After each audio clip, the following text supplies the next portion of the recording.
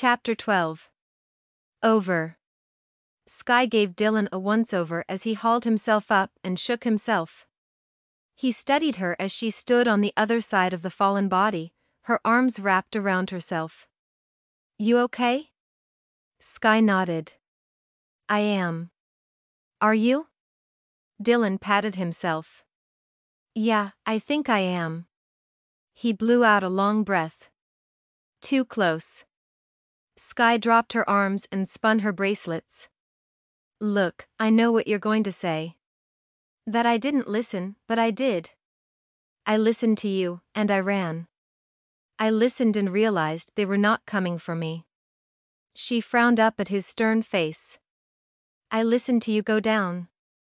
And I listened to myself to go back for you. I helped you. There's that.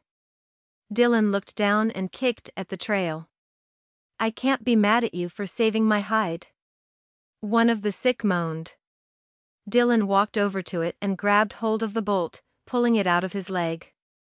Sky grimaced and shivered, but the sound didn't seem to bother Dylan one bit. She turned away when he pulled on a second arrow. With the used bolts in his hand, Dylan waved her up the path. Come on, we have to go. They're waking up.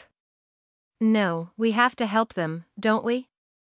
Sky moved to walk to the nearest one, and Dylan put a hand on her arm to stop her. It's dangerous to be that close to them. But we're immune, Sky said. You sure about that? Sky hesitated, I'm not 100% sure. I don't know that anyone is. And if we're immune to the airborne part, are we immune to a bite or the spit? Sky shook her head at the leaf covered ground and shrugged. Dylan took a step toward Sky. Come on. You ain't gonna be able to help them and keep the boy safe. Even if we're immune, maybe we could carry it back to him. Sky winced as she peered down at the man she had hit over the head. Tears welled in her eyes as she remembered the last person who had needed her help. She had walked away from her. Sky gestured to the sick that scattered the ground. What about them? I'm not. I don't know what we're supposed to do here. But just. Leave them? I don't know. Dylan rubbed at his scruffy jaw. I've been calling the doc to send someone out to gather them up, but he hasn't been answering lately. Yes, Sky said, he's gone to Fenton. What about Bill from Riley's? The funeral home? He may be aware someone. I heard him on the radio just before I left my house. Sure. Dylan looked over the damage they'd done. Till then they'll be okay. Ain't too worse for wear, a couple of headaches and a couple of holes. They'll do all right. Another moan and Dylan put his hand to Sky's shoulder giving it a slight push. Sky gave them one last lingering glance, still unsure about this decision, but what else could they do? The path to the truck seemed so much shorter now their lives were no longer in danger, and Sky grinned in relief for a moment as she settled herself inside the vehicle. But as they drove down the road, the adrenaline and emotions over what she and Dylan were forced to do became to show. Sky's hands shook so much the only way to slow them was to clasp them together. Dylan's eyes were on the road and his hands gripped the wheel. He glanced at Sky. Your running skills are impressive. Sky gave him a little smile. Thank you. I'm sure it had something to do with sheer terror. She raised her trembling hands to study them.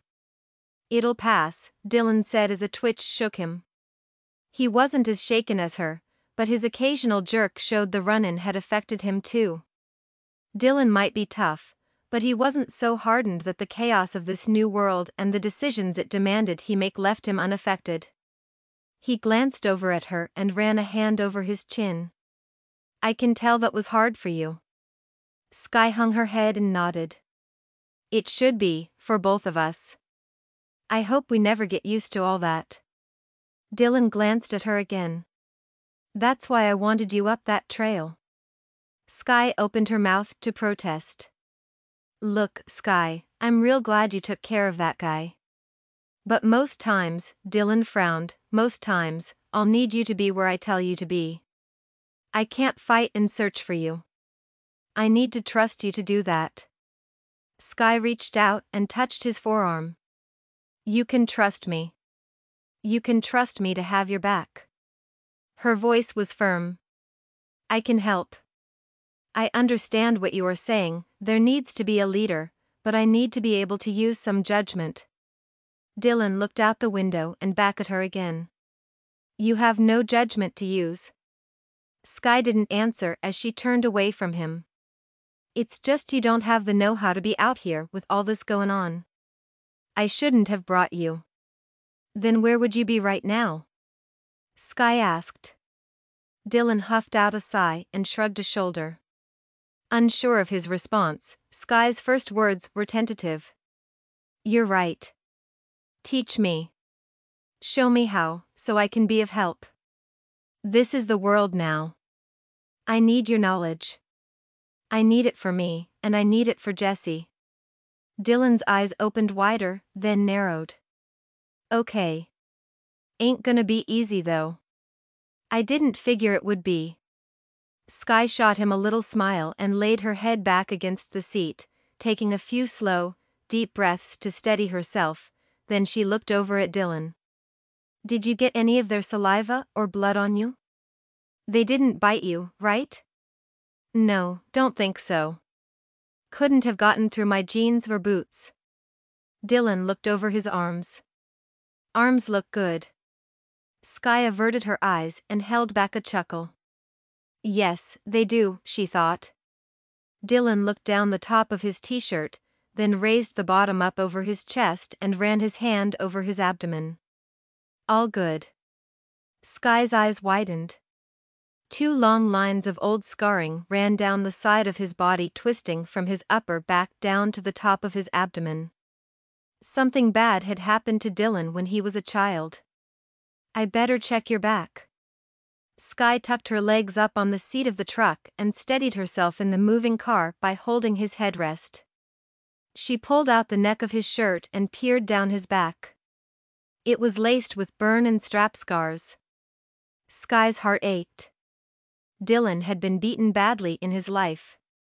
Though a couple of the scars were newer, most were a decade or two old. She'd noticed the cigarette burns on his and Wade's arms before. Those were nothing next to this. Sky tried to stick to the business at hand. None there.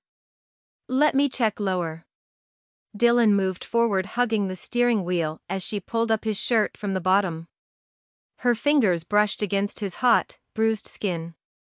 He flinched and glanced her way. Sky's throat ached as she looked at one of the worst abuse cases she had ever seen. So many scars, even knife wounds. Did his stepfather stab him? What kind of man does any of this to a child? No, not a man. That is no man at all. What do you even call a person like that? Sky's jaw clenched in raging anger. Bruising is starting, but no bites. You are good.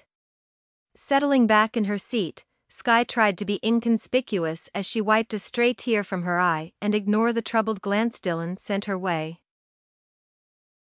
Dylan hardly noticed his scars anymore until something like this came along. He didn't like that Sky had seen them, but Dylan appreciated that she hadn't gotten all emotional about it. A little tear was nothing next to some of the extreme outbursts he'd heard when people saw the scars that covered him. Still, he didn't like the sadness on the woman's face. It's all right, Sky. Sky turned to him, anger now mixing with the heartbreak, though her tone was soft. No, Dylan, it's not. A child's home should feel like a sanctuary, be safe, not what you had. To endure a childhood like that, it must have been misery. Dylan grunted as a twinge moved in his chest, an emotion he rarely allowed himself to consider. A wish he could have had the happy, secure boyhood others had. He quickly shut the thought down, wishing never did any good. But Sky was right, and Dylan acknowledged her words with a small nod.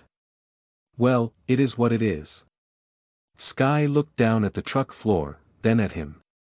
I'm sorry you went through that. You ain't got nothin' to be apologizing over. Not wanting to discuss the subject further, Dylan changed it. So, what's up with the sick biting? Sky blinked a couple times.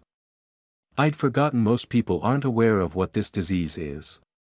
The biting comes from the rabies side of the virus. Rabies rewires the brain. People, animals, it's the same. It's a smart virus and needs to transfer by blood or saliva so it makes the infected want to bite. This thing is rabies? Ah. Makes sense, now you say that. Sky explained her visit to the Fenton Hospital then said, AG flu is in other countries too.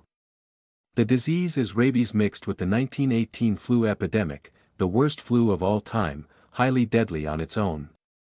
The disease control estimated about 70% of the Earth's population would get the illness. As we are aware few survive the AG flu. Dylan scoffed. More and that are dying. How exactly did these two get combined? That, no one owned up to. The doctor's friend theorized that the AG flu was part of germ warfare but wasn't sure if the sickness was the US's, and got loose by mistake, or if another country sent the virus over here. Staring out the front windshield, Dylan said, Either way, we're screwed. Yeah. She said. Yeah. Yeah he agreed. Sky sat back against her seat. Then jumped and yelped. What? What's wrong? Quick as lightning, Dylan reached across the seat and pulled her to him as he slowed the truck. Sky sat forward and pulled her shirt up from the bottom. Please, get it off. There's a bug on me since before they came after us. It's still stinging me. Dylan saw the problem and pulled a bee from her back and flicked the insect out the window, then drew the stinger out and rubbed the spot. How's that?